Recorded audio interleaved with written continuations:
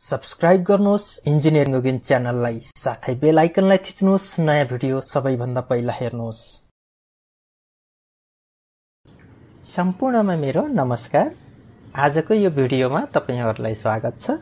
Introduction and history of AutoCAD यानि कि AutoCAD भनेको के हो र यसको सुरुवात कसरी भयो भन्ने विषयमा जानकारी लिगौँ।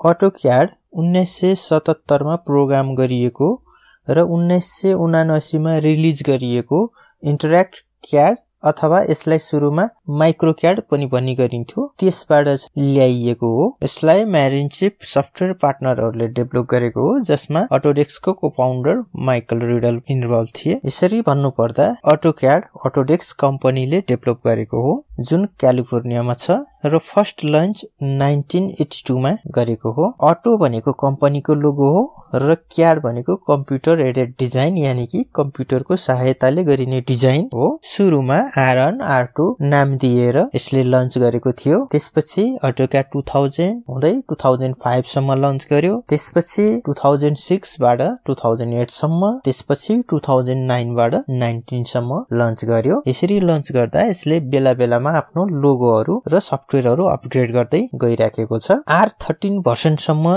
चल्दाखेरि यो डस मोडमा चलेको हुन्थ्यो। त्यसपछि यो विन्डो र लिनक्स अपरेटिङ सिस्टमहरूमा चल्न थालेको छ। अटोक्याडको एक्सटेन्सन फाइल डट डिडब्लुजी हो र यो. डट मा पनि सेभ गरिन्छ। अटोक्याडको भर्सन र लोगोको विषयमा कुरा गर्नु पर्दा भर्सन यो V one point zero one point two three four two point zero two point one two point five six AutoCAD release nine release ten eleven twelve thirteen fourteen हुँदै develop भयो त्यसपछि two thousand two thousand I two thousand two two thousand four five six seven eight हुँदै अहिले two thousand नाइन्टिनसम्म भइराखेको छ र यो प्रत्येक इयर डेभलप हुँदै जान्छ। अपरेटिङ सिस्टमको बारेमा कुरा गर्ने हो भने अर्टिक्यार रिलिज थर्टिनसम्म डस मोडमा त्यसपछि विन्डो मोडमा त्यसपछि एक्सपी भिस्टा सेभेन हुँदै यो विन्डो टेनसम्म आइसकेको छ अहिले र अपग्रेड हुँदै गइसकेको छ। जेनरली पहिला यसको रिलिज डेटहरू डिसेम्बर अप्रिल अगस्त भए पनि हाल आएर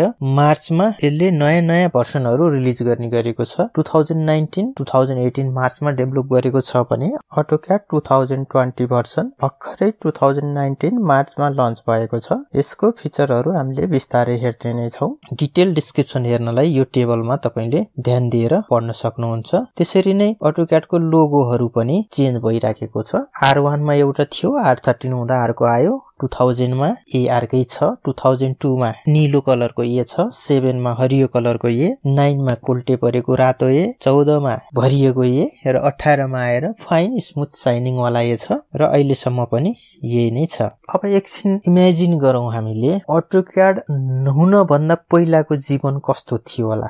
लाइफ बिफोर अटोक्याड हामीलाई थाहा छ हामीले कलेज पढ्दा हातले नै ड्रइङ गर्ने थियौँ। ड्रइङ टेबलहरू हुन्थ्यो ड्रइङ बोर्डहरू हुन्थ्यो ड्राफ्ट ड्राफ्टर हुन्थ्यो टी स्केल हुन्थ्यो पेपरहरू ल्याउन पर्थ्यो ए वान ए डिफ्रेन्ट साइजहरूको त्यसलाई सेलो टेपले टाल्न पर्यो। धेरै प्रकारका पेन्सिलहरू इरेजरहरू सार्पनरहरू स्केल सेट कम्पास सेटहरू युज गरिन्थ्यो।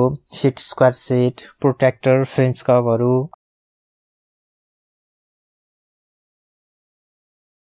त्यो बेलामा प्रिन्टर थिएन फोटोकपी थिएन।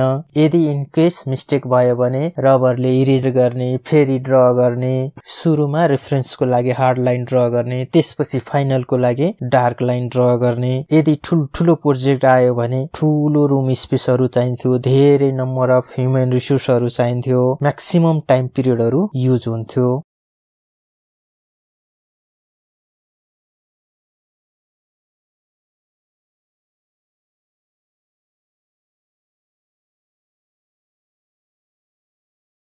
त्यसकारण यदि हामीले विचार गर्ने हो भने अटोक्याडले कति हेल्प गरिराखेको छ अहिले इन्जिनियरिङ सेक्टरमा डिजाइन ड्रइङको सेक्टरमा भन्ने कुरा हामीले आफै अनुभव गर्न सक्छौँ। सिम्पली ल्यापटप पिसीमा ड्र गर्यो प्रिन्ट गर्यो जुनसुकै स्केलमा मन लाग्छ।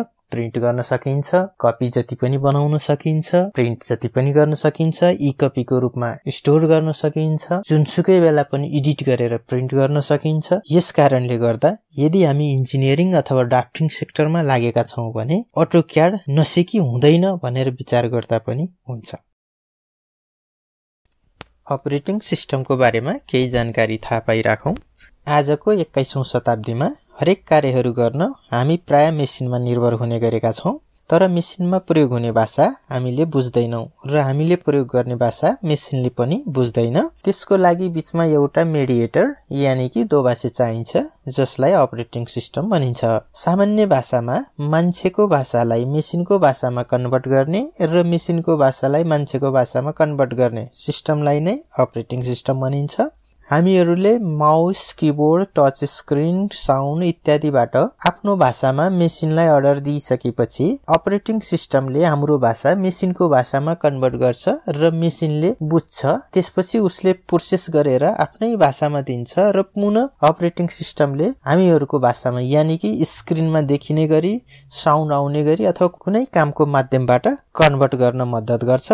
अपरेटिङ सिस्टमले अन्य सफ्टवेयरहरू र हार्डवेयरहरू राख्ने प्लेटफर्म प्लेटफर्मको पनि काम गर्छ। अहिले मूलत दुई प्रकारका अपरेटिङ सिस्टमहरू छन् माइक्रोसफ्ट विन्डो र लिनक्स विन्डो अपरेटिङ सिस्टमको बारेमा भन्नुपर्दा यो अपरेटिङ सिस्टम माइक्रोसफ्टले डेभलप गरेको हो। यसमा प्रयोग गर्ने प्रयोगकर्ताले यसको कोडहरू चेन्ज गर्न सक्दैन। यो फिक्स हुन्छ। माइक्रोसफ्टले नै आफ्नो कोडहरू कमान्डहरू मेथडहरू सबै फिक्स गरेको हुन्छ। यसको लागि सफ्टवेयरहरू र ड्राइभरहरू सजिलैसँग पाउन सकिन्छ र यसलाई प्रयोग गर्नको लागि पैसा तिरेर किन्न पर्ने हुन्छ।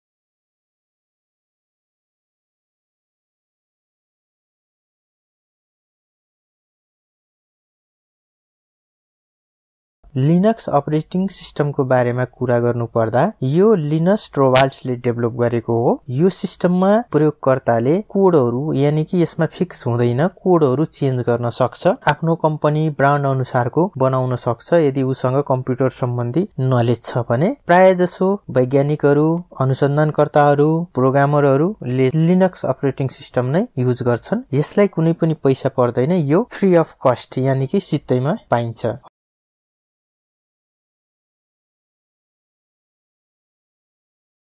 अपरेटिङ सिस्टम सँगसँगै बिटको बारेमा पनि केही जान्न पर्ने हुन्छ। बिटले जेनरल्ली ऱ्यामको क्यापेसिटीलाई जनाउँछ। थर्टी टू बिट ऱ्याम भनेको टूको पावर थर्टी टू यानि कि लगभग चार जिबी बराबरको हुन्छ। त्यस्तै sixty four bit operating system भनेको पनि ऱ्यामकै क्यापेसिटी हो। यो टूको पावर सिक्सटी फोर भनेको एट्टिन बिलियन जिबी बराबर ऱ्याम सपोर्ट गर्ने क्यापेसिटी हो। त्यही भएर आजकलका latest सफ्टवेयरहरू generally sixty four bit operating सिस्टममा आउँछन् जसले गर्दा हाई ऱ्याम युज गर्न सकिन्छ।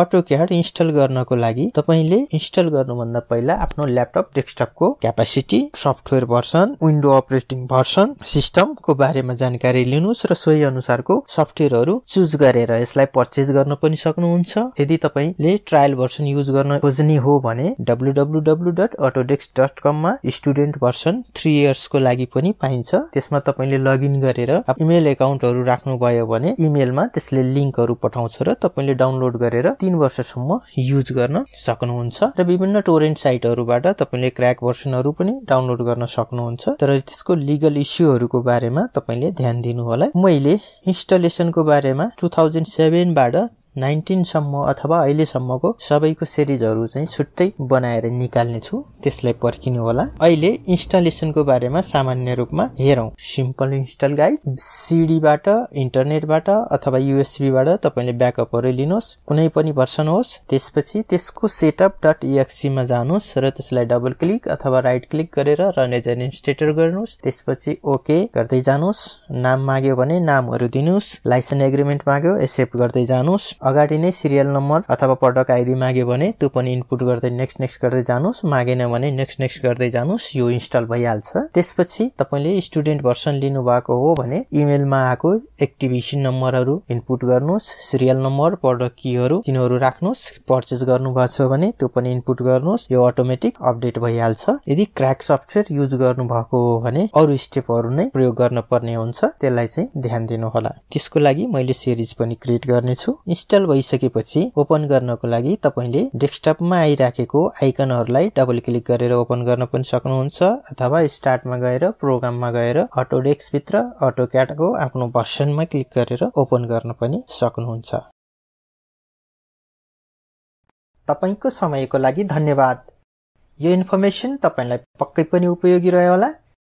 भिडियोलाई लाइक तथा सेयर गरी नयाँ नयाँ भिडियोहरू बनाउन प्रेरणा दिनुहोला।